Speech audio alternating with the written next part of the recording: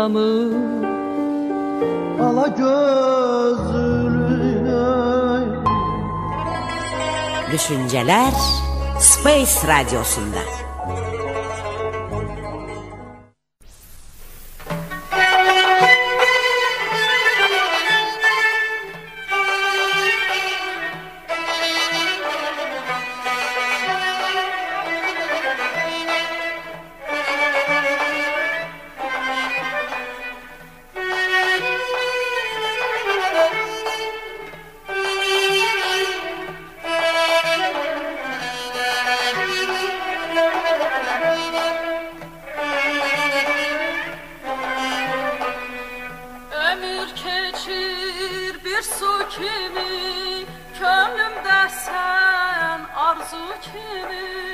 Ömür keçir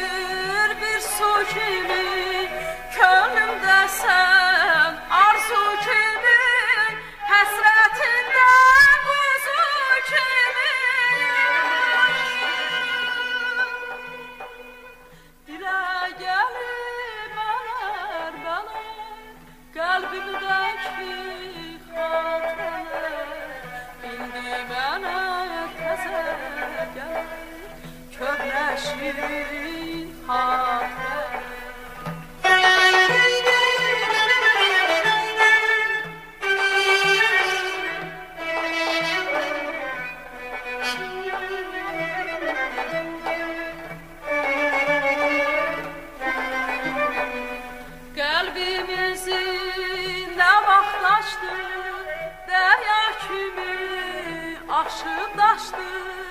Qəlbimizi nə vaxt açdı, dərya kimi aşıb daşdı.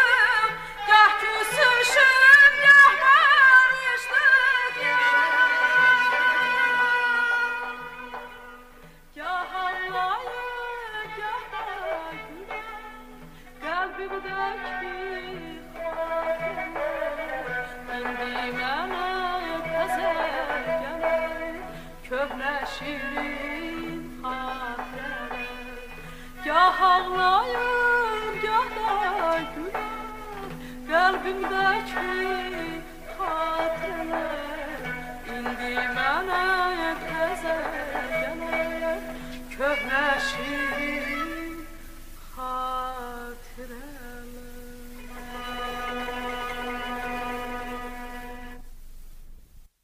İxtiyar Vavzadənin sözlərinə Hacbaba Həsənovun bəstələdiyi Xatirələr mahnısını dinlədiniz Sara xanım Qədimovanın ifasında.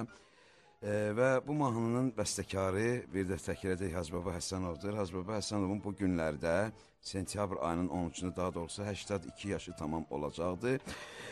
E, yəni ad günü keçirildi və bu məqsədlə də biz e, bugünkü verilişimizi bu gözəl şəxsiyyətə, yəni həkim, psixoloq və həvəskar bəstəkar Hacbaba Həsənova həsr etmişik. Bu məqsədlə Hacbaba müəllimin qızını biz dəvət etmişik e, studiyamıza. Düşüncələr proqramında bugün mənim qonağım e, Gülbəniz xanımdır. Gülbəniz xanım, xoş gəlmisiniz. E, sizi e, bizim proqramımızda görməyimizə çox şadıq. E, yəni bugünkü verilişimizi biz sizin atanıza, bu gözəl şəxsiyyətə həsr etmişik və telefon nömrəmizi dinləyicilərimə xatırladıram. E, 499 71 04. Əgər Hacbaba müəllim haqqında, yəni bu gözəl şəxsiyyət Hacbaba Hüseynov haqqında sizin xatirələriniz varsa, sizin e, onun haqqında e, ürək sözləriniz varsa və yaxud bugünkü verilişimizin qonağı e, Gülbəniz xanıma ola bilər suallarınız olsun və yaxud e, ürək sözləriniz olsun.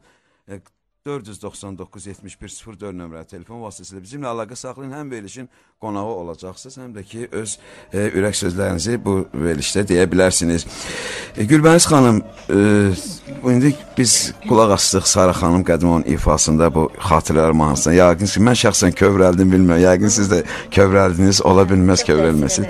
Və e, Hacı Baba Həsənov doğrudan da e, o həkim, psixoloq olmaqla yanaşı, yəni həvəskar bəstəkardır. Bu çox gözəl onun, yəni o dövrdə 50-ci illərin sonunda, 60-cı illərdə çox gözəl mahnılar bəstələyib və o mahnıların ifaçıları əsasən Sara xanım Qədimova, Əbülfət Əliyev, Fatma e, Mehrəliyeva, Gülağa Məhəmmədov və sair müğənnilər ifa ediblər onun mahnılarını.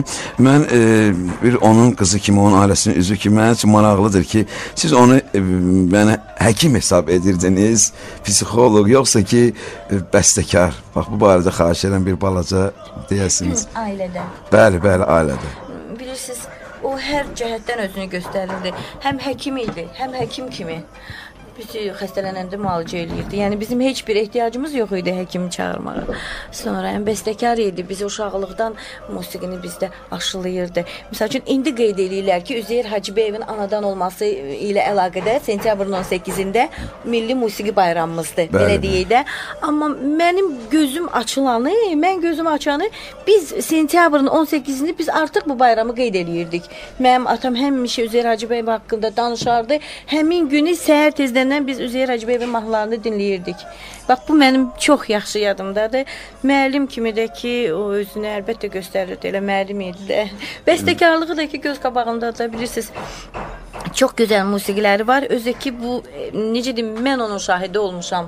Mən elə uşaqlıqdan Mahnılar onu yazılırdı. yazanda, bəli, yazanda da mən onun şahidi olmuşam ki, necə gözəl, necə işləyirdi. Elə vaxt olurdu saat 3-əcən, 4-əcən, gecənin yarısınacan işləyirdi. Bunlar mənim gözümün Bir balaca onun haqqında məlumat verin. Yəni həyatı həyatı barədə, yəni tərcümə haqqında balaca kiçik məlumat xahiş Hə, edirəm. Hacı Baba Həsənov 1922-ci il sentyabrın 13-də Əmətli kəndində anadan olmuşdur.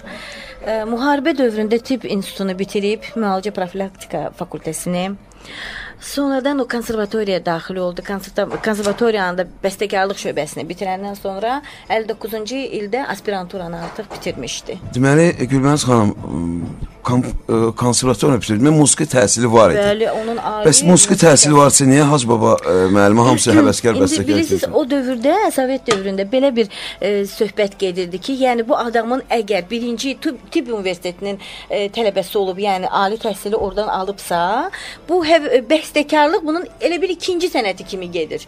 Bu həvəskar adını da damğalamışdılar da. Bir söz mən bir dəfə bir, bir bu düşüncələr proqramında Respublikanın xalq artisti, məşhur kamançı ifaçı Habil Əliyev olmuşdu. Habil Əliyev də o vaxt hə, həvəskar bəstəkar. Mən bu barədə ona sual verdim.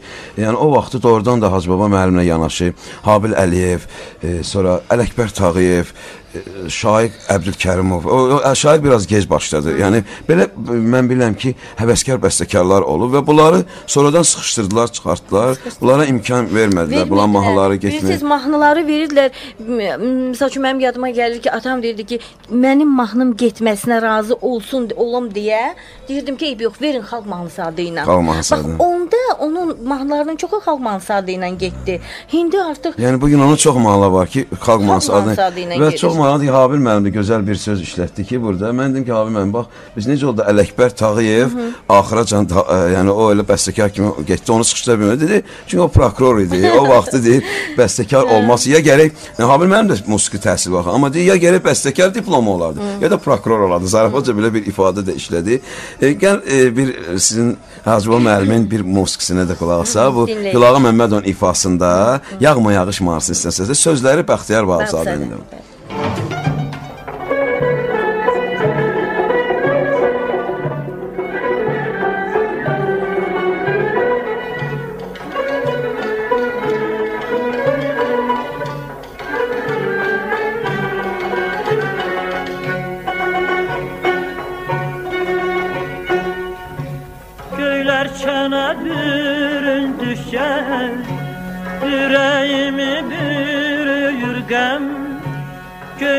Dikenə bürün düşcə Ürəyimi bürüyür qəm Pəncərəmə hicra yazır Damcıların naxış naxır